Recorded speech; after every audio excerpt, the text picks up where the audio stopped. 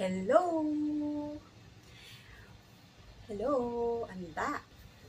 Uh, welcome to my channel, Samlan08. Sana po, uh, sa mga hindi pa po nakasubscribe, please subscribe my channel, Samlan08. And sana po, i-press din nyo po ang bell button para po updated po kayo sa lahat po ng videos na upload ko, upcoming uploads. So, magluto na naman ako ng dinner namin.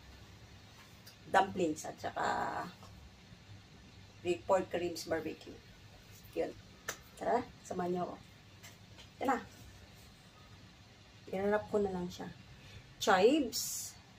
Tsaka minced pork. So, may dumpling wrappers tayo dito. Actually, hindi na ako gumawa kasi mahaba or hahaba yung oras kapag gagawa pa ako. Kaya bumili na lang ako. And then, kailangan natin ng tubig para mag-close natin yung dumpling wrapper pag nilagay na natin. Huwag nyo masyadong damihan na ang ilalagay kasi hindi nyo siya masasara. Mahirapan kayong magsara kapag madami, kapag puno, kaya dapat sakto lang.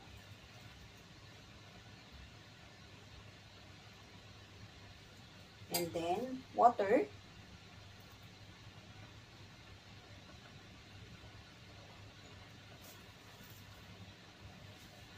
Yan. Fold. Press.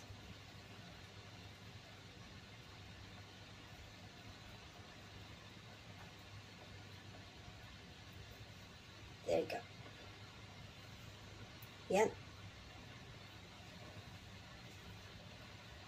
Kailangan ko pala nang lagyan ng plastic sa ano para hindi didikit mamaya.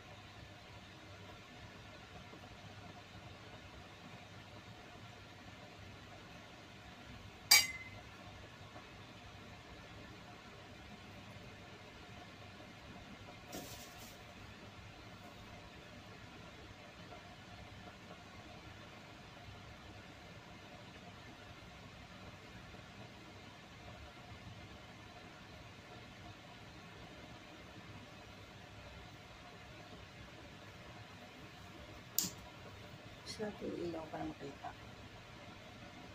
Sorry, kalimutan ko kanina.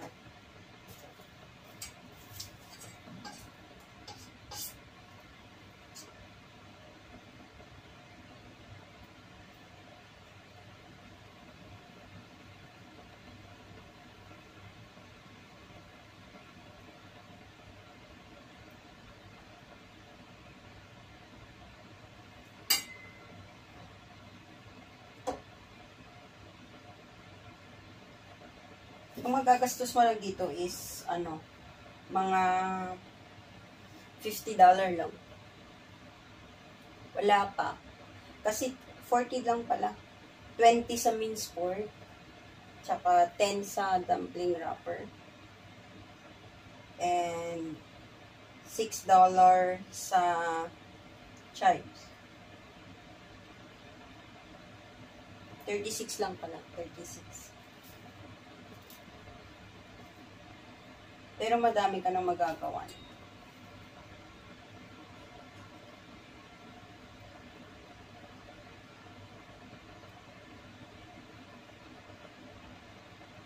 Kaysa naman bibili ka, mahal.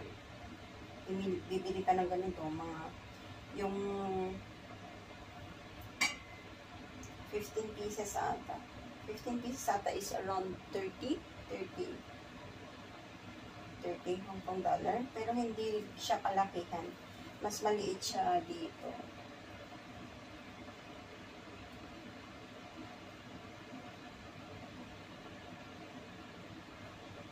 Minsan may umaabot pa ng may iba pang price, mas mataas pa. Tsaka mas maganda naman kapag kayo yung gumagawa, at least alam yung fresh, di ba? Isa naman sa labas ka bibili, hindi mo alam kung kung kailan yun nagawa.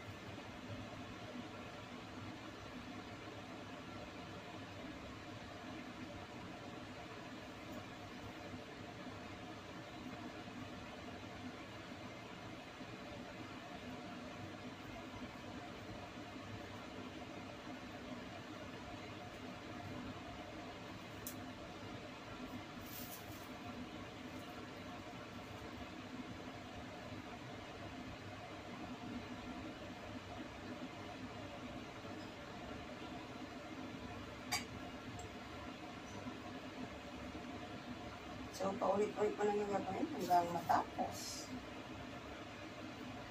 Kung kulang yung wrapper mo, pwede mo siyang ilagay lang sa ref and then kinabukasan, pwede kang bumili ulit ng complete wrappers at i-wrap ulit and then lutuin. Kasi, pwede siyang ilagay sa mga noodles, ganun. Noodle soup.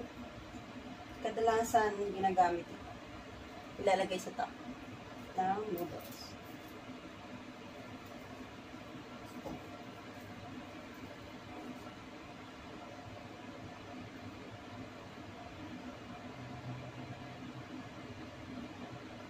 Pwede rin kayong gumawa ng leek with minced pork. Sarap din siya. Tapos, irap niyo siya sa dumpling wrapper. Or cabbage. Yung cabbage, uh, tatarin niyo lang siya. And then, mix with the minced pork. Ito na. Or Chinese cabbage. Pero ako mostly ang ginagamit ko is Chinese cabbage.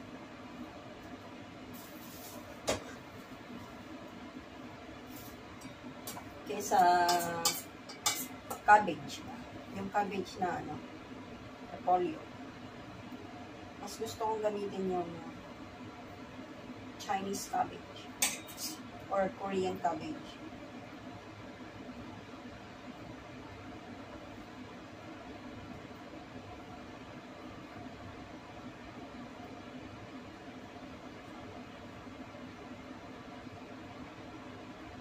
Or minced pork. Tapos, lagyan niya ng sweet corn. Gawin yung ganito. Ayos din.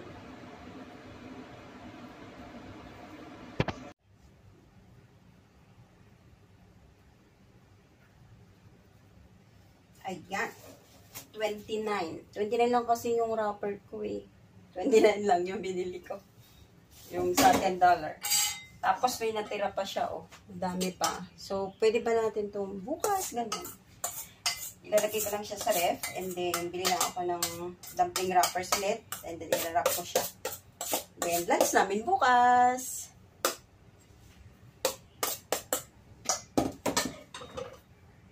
Ito siya, oh. Ilalagay ko sa siya freezer para mamaya lulutuin ko na pag malapit ng dinner.